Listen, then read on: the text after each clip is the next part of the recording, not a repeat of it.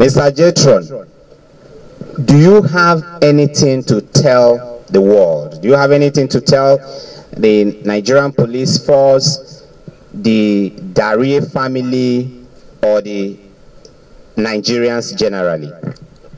Oh, thank you so much, the officers and uh, men of the Nigeria Police Force.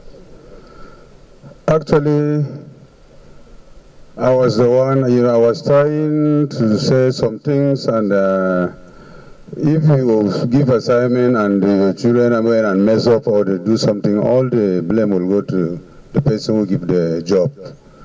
I was trying to deny, do something. I ask all of you to forgive me. So I give the job to these children and they went and mess up. My mission was not for them to kill him after collecting ransom. Actually, it is not in my mind. So it has happened. We will ask the police to forgive, the family to forgive, and everybody who is here because it's not good when you collect the ransom and you kill the person. So children have done their own. There's nothing we can do. Thank you so much.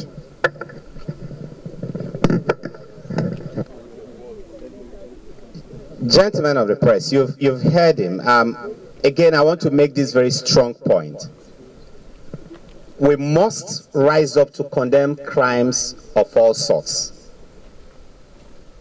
Jethro mustered an apology for the death, but Jethro sees nothing wrong in collecting ransom. The, the son to the victim, sorry.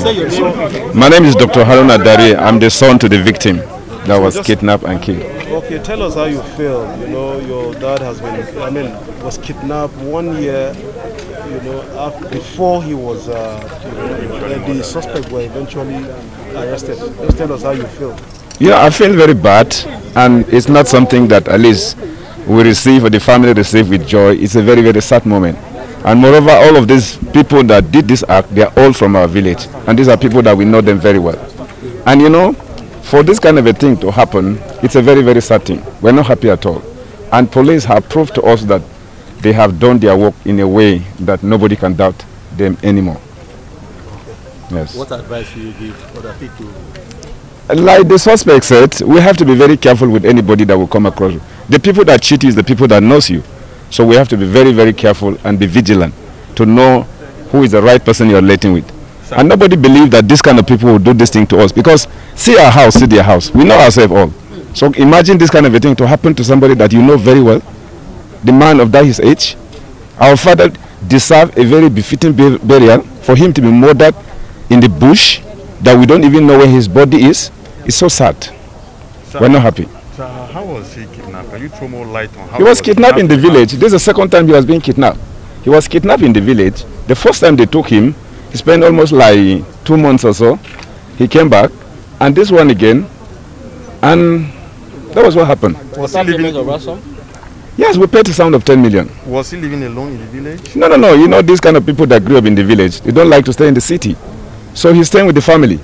And one of our mother in the village, when they drove him, when, when they picked him inside the room, he sat down on the ground and then they coughed the gun to shoot him. He now said, no, he better died in the bush for him to be killed in the mix of children and women. That was what happened. And our dad stood up and followed them. Yes, that was what happened. Thank you so much. Thank you very much. Horop In Mushere. in Mushere, Bokkos local government. Thank you very much.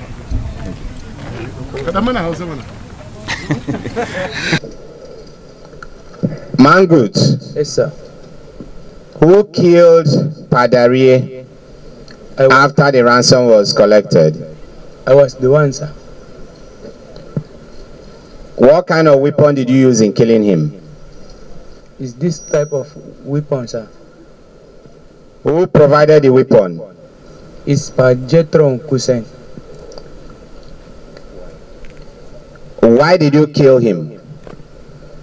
Cause when when the he he come and tell me to to shoot him, let's go, so that we should go. I tell, and then I tell him, how why will we kill him? Then he, he was talking like that. Then and that's, that was the first time I hug on. Really, I said I will try to shoot. Okay, thank you. Give me the microphone. Collect the microphone. Pajetro, Stand up. Mr. Jethro, rather.